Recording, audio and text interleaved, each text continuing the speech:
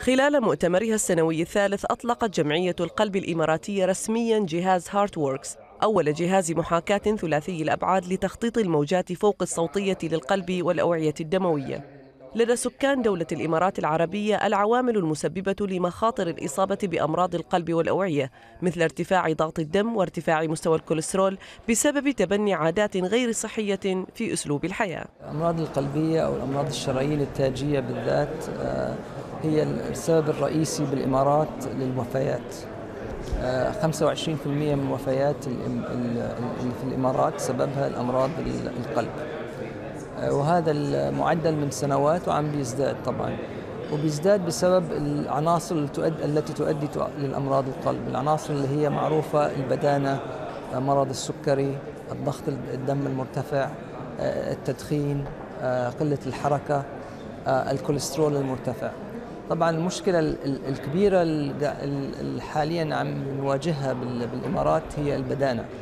يعني فوق ال 60% من من السيدات و50% من الرجال عندهم بدانة أو بدانة مفرطة. تخطيط الموجات فوق الصوتية للقلب يشكل أداة فاعلة في رصد أمراض القلب حتى قبل ظهور أعراضها على المريض. ويأتي إطلاق هذا الجهاز الأوسع استخداما والأقل تكلفة في مجال التصوير التشخيصي للقلب والأوعية ليتيح للمستخدم والمتدرب تحديد مكان المشكلة القلبية بشكل دقيق ويساهم في الحد من زيادة الخطر على صحة الإنسان. التعليم على هذا الجهاز كبداية بمعرفة التشريح الدقيق للقلب ووضع الجهاز ومن ثم الانتقال إلى المريض.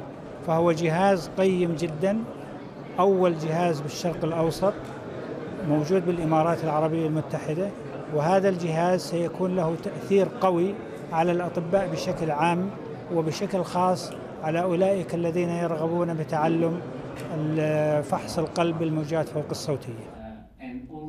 يعد جهاز HeartWorks من أهم التطورات في مجال التدريب والتطوير لأخصائي القلب. حيث يمكنهم إعادة تشكيل القلب افتراضيا بطريقة مثلى تزيد من مهاراتهم في هذا المجال دون أن تسبب إزعاجا للمريض.